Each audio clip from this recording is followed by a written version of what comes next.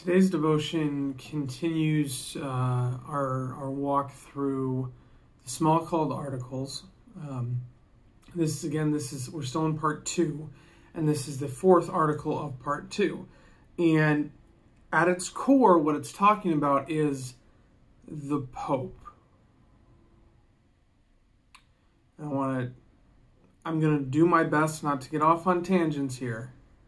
I'm going to do my best as I, I, as I always do to try and keep it under five minutes to varying degrees of uh, of effectiveness.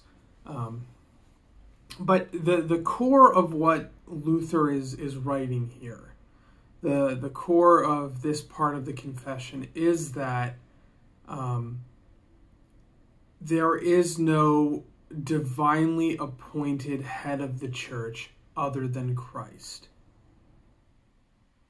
Okay? Um, so that is to say, um, the Pope does not have some divine authority to be the sole head of the church, which at the time this was written, that was in, in the Roman Catholic Church, that was the case.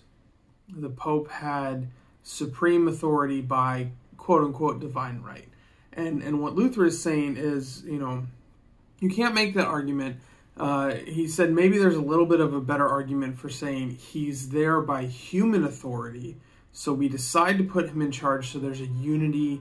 Um, there, there's a leadership, which I think there's a fair argument for putting putting someone in charge to help with uniformity, to help with uh, institutional organization, right?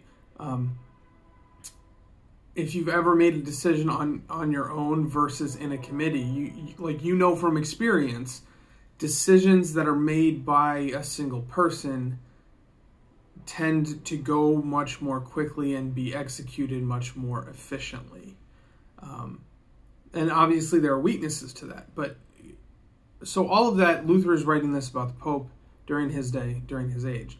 And the question uh, quickly becomes you know why do we care how does that impact us? Well, I think what what we can take away from this is how we treat really just clergies, clergy, uh, pastors, district presidents, synodical presidents. If those words mean nothing to you, check out our podcast on. I think it's titled something along the lines of the hierarchy of the LCMS. Um, because there is is we are not divinely appointed like rulers or leaders of the church. So for my example at Edgewater, I am a leader at the church, but I am not some divinely appointed whatever where what I say goes, right? I have an opinion. I will share that opinion. I, I like to think that for the most part, my opinions are theologically informed.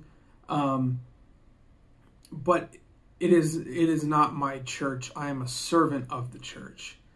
Now that's not to say pastors hold sort of a unique role in the church in what we're called to do and how we're called to go about it. Um, but it's not it's not a position of, of like some supreme authority. So if you're if you're making a decision as your church, I would encourage you seek out your pastor's input. If you're at Edgewater, I, I think it is appropriate that I sit on our, our different leadership teams and I and I speak at those as um, as appropriate, I guess, as I have things to say. However, my word is not law um, and and if you're not a member of Edgewater and you have some other church, you have to keep in mind like your pastor's word is not law. Um, respect respect whoever it is. Obviously, like genuinely listen to what they have to say, e- even if you disagree with it. Um, but I, I think that's kind of what we we can take away from this, right? In, in that um, there there is no divinely appointed head of the church other than Christ.